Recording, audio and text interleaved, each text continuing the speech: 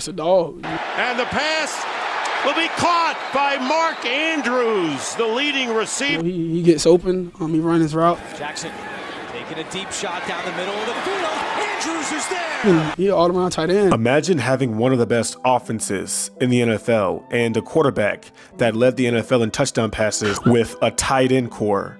That's right, folks, a tight end corps, not a receiving corps. Last year, the Ravens had a three headed monster at the tight end position, and the man that led this trinity was the Oklahoma alumnus Mark Andrews. Hayden Hurst, the new Atlanta Falcon, was intended to be the number one tight end on the Baltimore Ravens offense, being picked before Lamar Jackson. But in football, it does not matter if you're picked in the first round or the last round, it's all about showing up in game day. You see, Mike Mayock had Mark Andrews as the fourth best tight end in the 2018 draft, and Mark Andrews indeed ended up being the fourth tight end in that draft and was the second tight end that the Ravens drafted in 2018. During the start of the 2018 season, Harbaugh had Andrews as the fourth tight end on the depth chart.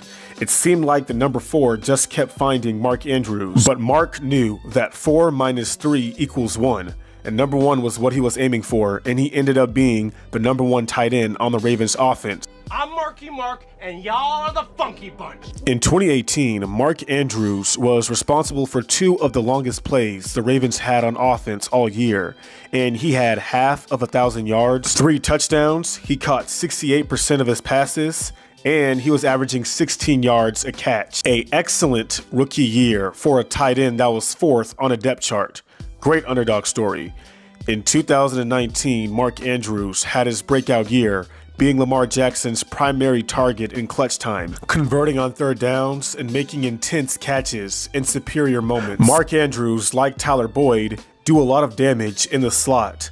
Last year, he had 731 yards, 29 first downs, and 5 touchdowns from 221 routes in the slot. He was second among tight ends in deep receiving yards behind Travis Kelce. Mark Andrews' total stats last year were 852 receiving yards, 10 touchdowns, which led all tight ends and tied a Raven record. He had 64 receptions and a Pro Bowl berth. Now, some people look at Mark Andrews' receiving total and they're like, he does not have a thousand receiving yards.